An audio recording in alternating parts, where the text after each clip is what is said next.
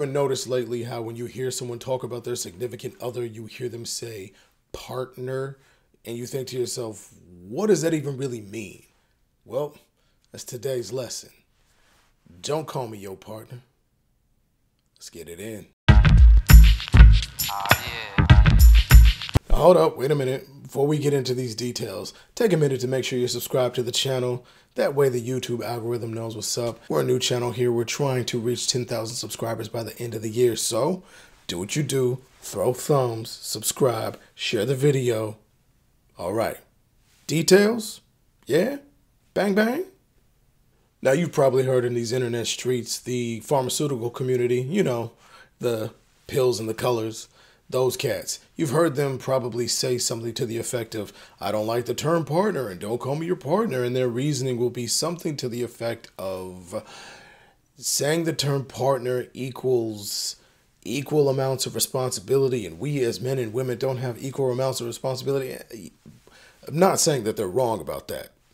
What I am saying, what we're going to talk about today is from a different perspective. We're going to talk about different reasons as to why, for me and many men, we don't like the term partner. And it's twofold. First reason, it's ambiguous. It's not clear what you're talking about, who you're talking about. One of the first thoughts is when people hear that is, are you gay? Not that I'm saying there's anything wrong with that. Not that there's anything wrong with that. But again, ambiguous. Another thing they might think is, are you married? Because people are now using the term partner even for when you're married. So it could be you're gay and you're married, or both, or one or the other. And then, are you even talking about a significant other? We don't know. This is what I mean by ambiguous, which leads us into the second thing. It's a lower level term. Let's say you are in a CPR training class, right? Everybody's pairing up. Teachers pairing up, everybody, everybody, everybody, but there's an odd number of students in the class. Now the teacher goes, Hey, you, little Timmy, you're gonna pair up with the training dummy. The training dummy's gonna be your partner for the class. This is what I mean. Lower level term. An inanimate object can have this term. But let's take it a step further. Let's say you're at a seminar or something and you're at a round table and everybody's sitting there and the teacher says, okay, everyone look to the person to your left. The person to your left is going to be your partner for the day. So now this person who you just met, who's a complete stranger, now has the position of partner. Stranger. See? Let's take it another step even further. And for example, you are now a police officer in the K9 unit. Who is your partner in the K9 unit? A freaking Doberman pinscher, homie. You have a partner that's not even human. Again, lower level term. So, yeah, ladies, we don't like that. No, don't make it ambiguous. Don't have it be something where people are wondering, are you gay? Are you straight? Or, or is this a person? Are you talking about a significant other? Is it an inanimate object? Because it could be a dummy, a crash test dummy, or a, a training dummy. It could be a freaking dog. These are terms and things that lessen who I am.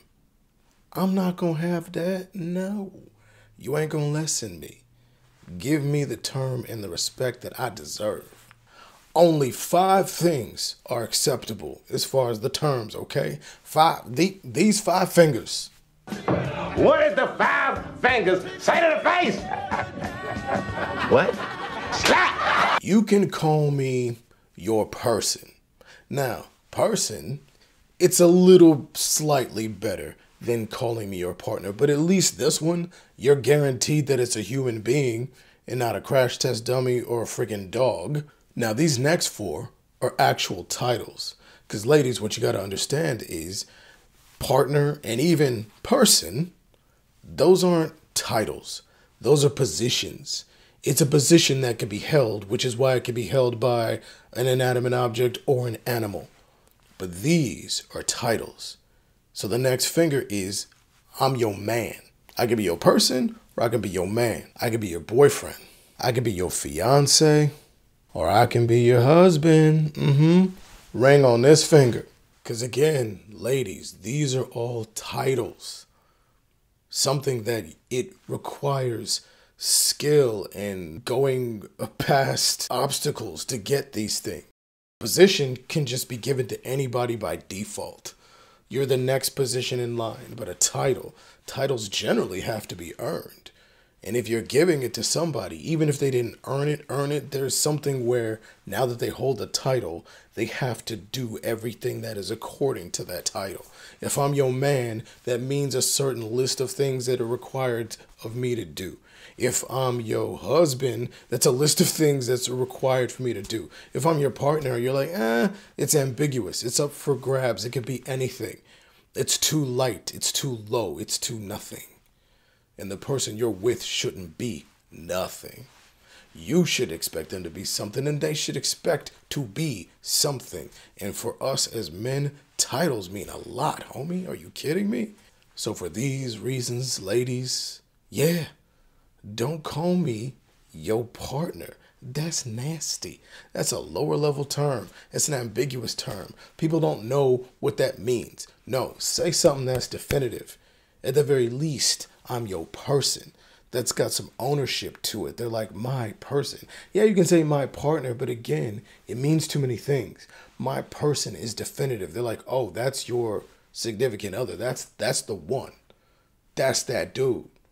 I'm your person. I'm your man. I'm your boyfriend. I'm your fiance. I'm your husband.